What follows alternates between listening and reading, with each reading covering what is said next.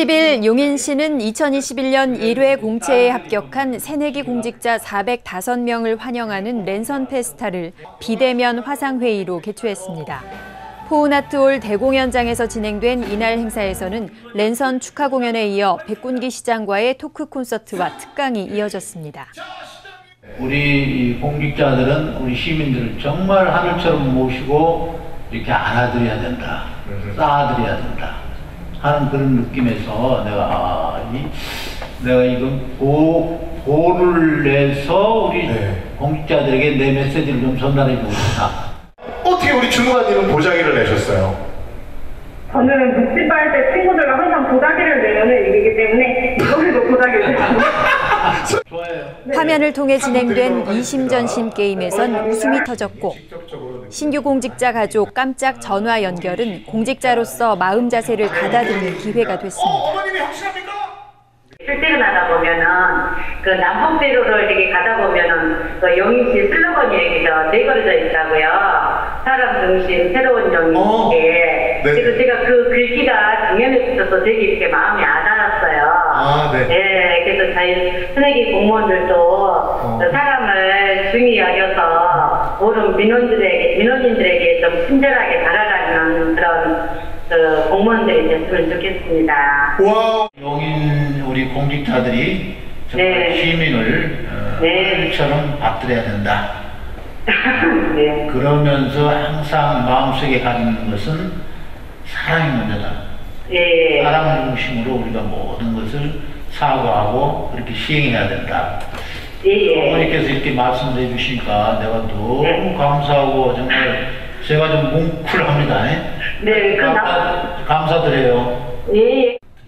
백군기 시장은 내년 출범하는 용인 특례시를 이끌어갈 용인시의 새내기 공직자들을 격려하면서 열정과 패기로 시민들에게 사랑받는 공직자가 되달라고 당부했습니다.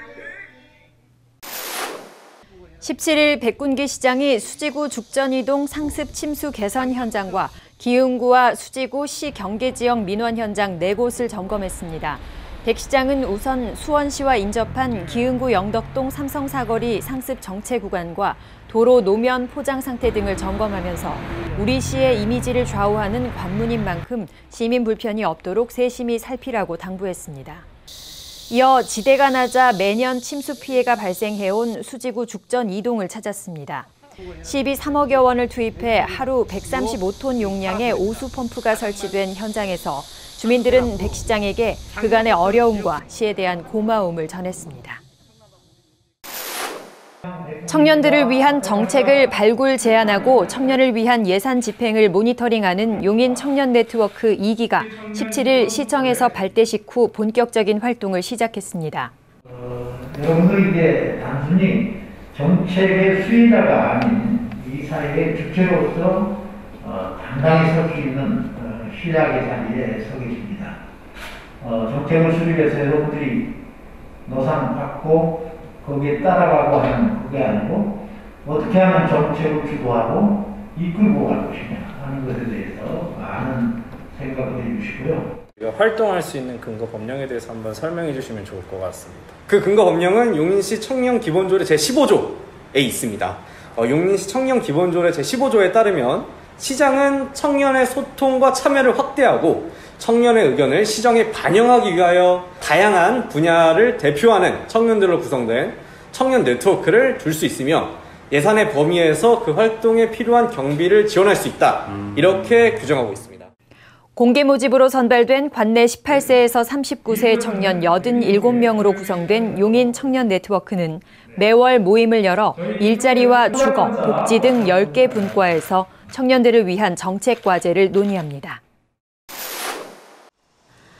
기흥구 동백 이동은 코로나19 확산 방지를 위해 자동차 실내 소독기를 청사옆 동백 임시 공영 주차장에 설치했습니다.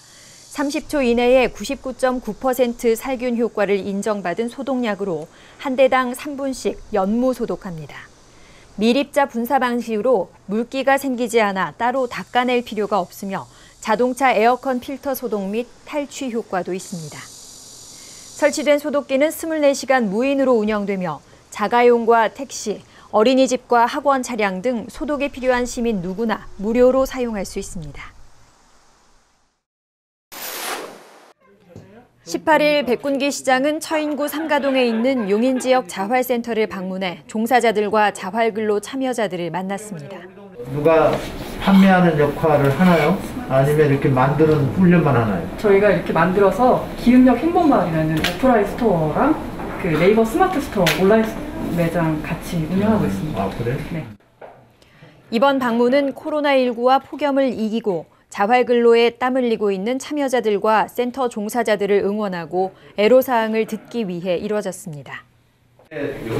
한 단계 더 올라가면 어, 자활교육도 만들고 또 사회적 교육도 가서 만들고 이렇게 해서 그때 가면 돈도 좀 많이 벌고 뭐 이렇게 할 수 있잖아요.